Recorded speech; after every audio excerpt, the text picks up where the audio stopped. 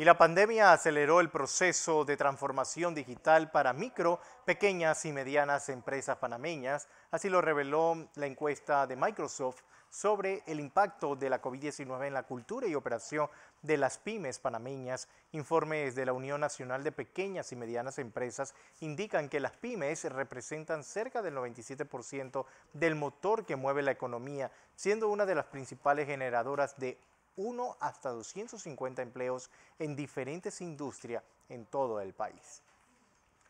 Y la Asociación de Productores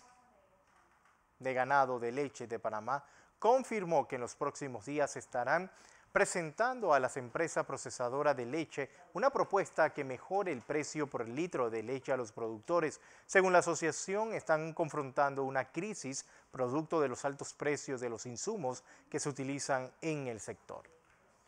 y el turismo interno generó en Panamá 242.2 millones de dólares durante la Semana Santa. La información fue confirmada por el Departamento de Estadísticas de la Autoridad de Turismo de Panamá. Según la entidad, hubo un incremento de un 80% en el 2022 en comparación al año 2021, el cual reflejó un impacto económico de 133.9 millones desde la terminal también se conoció de Albrook y en vehículos particulares que se, eh, desplazaron al interior del país un total de 1.614.827 personas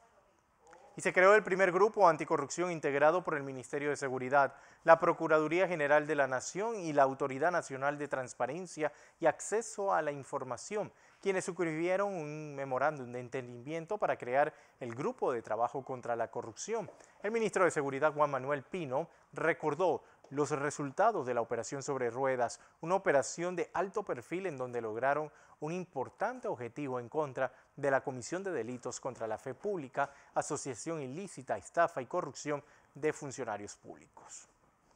Y el aeropuerto de Tocumen informó que se posicionó nuevamente como el más puntual de América Latina y el tercero en el mundo, según el reporte mensual de desempeño que realizó la consultora especializada Sirium en la categoría de grandes aeropuertos para el mes de marzo de 2022. El reporte de Sirium reveló que Tocumen registró un índice de 92.72%, el más alto de América Latina.